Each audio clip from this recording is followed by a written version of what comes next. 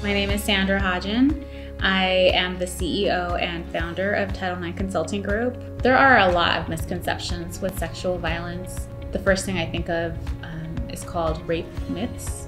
So, those are myths that individuals believe they need to see in order to believe a, a, a, rape victim. So maybe bruised up faces, their clothes was torn. You know, those are rape myths, right? Because the reality is that most sexual violence, sexual assaults that happen, although they're not mutually consensual, many times females freeze or males freeze in the moment because they're afraid and they may not fight back. That doesn't mean that they're consenting. Additional misconceptions are the way that victims may or may not respond after they've been sexually assaulted. Sometimes a victim might act normal. That's just their coping mechanism.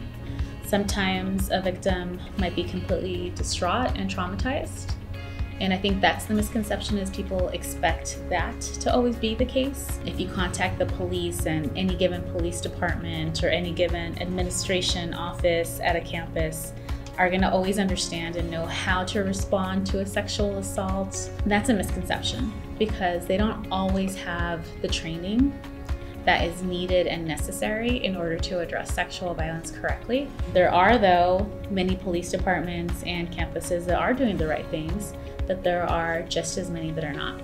Feel free to reach me through my website, Title IX Consulting Group, and or reach me through my email, title9consultinggroup.sandra at gmail.com. The individuals can always reach me through those specific areas.